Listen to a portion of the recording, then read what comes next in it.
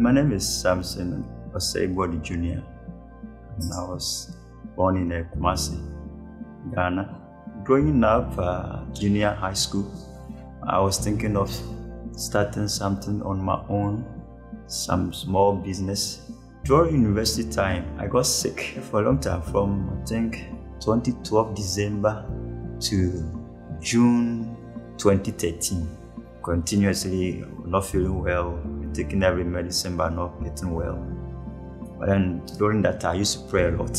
Yeah, I was asking for healing. I was asking that God to take, should take this kind of things from my body. And through that sickness, I had a revelation that I was preaching to people. Those times, I go to church once in a year. But when I got sick, I realized that things were not good for me.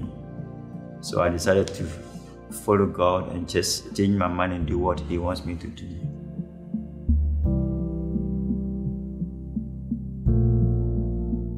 Before I finished university, I used to have series of uh, dreams, visiting some people, places where I did not even know. So in the course of uh, this dream, I saw that uh, there was a group that they were calling me to join them. So when I went to a place to do the national service, and I, I went as a teacher, I saw that thing physical. I saw a small group, and in that community, there was only one church there. So the one who, is, who was in charge said he wants me to join them. Then that confirms what I saw in the dream. So the one who was in charge said, Teacher, if you have come, then take control of our, church. It was a small church there. So from there, I started preaching. And I had not done it outside with anyone before. But when he gave me the opportunity, I decided to preach every Sunday. And since then, I've been doing it up to now. So after the national service, I had a chance to work with Every Home for Christ. So I started distributing the gospel tracts. So I go with Every Home for Christ, uh, the Heart of a Man. But then they introduced us to World uh, Missionary Press small booklet. So we started also adding it to the Heart of a Man gospel tract. But now I'm not using the, the Heart of a Man. I'm using the World Missionary Press small book. If I want to share with people one on one, I use World Missionary Press uh, small booklet.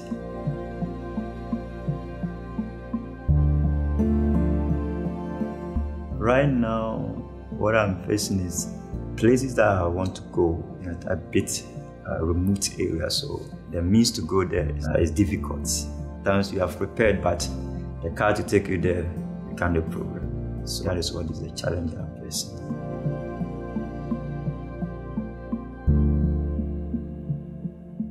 I normally find a place that they have heard it before, but um, I just feel like that place still they still need a word.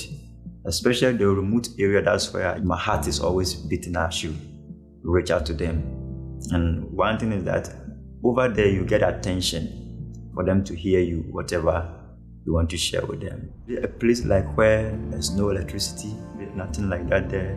When you are having uh, some small machine, you have opened it, you say you want to share with them, so that will attract them.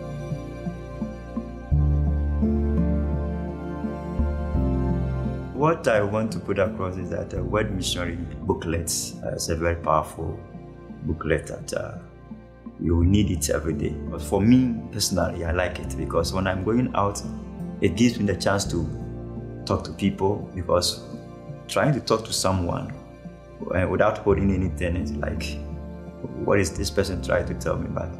Oh, I want to give you this small booklet. You get attention. So you speak to the person. So I think it's very powerful book and I think it's making it easier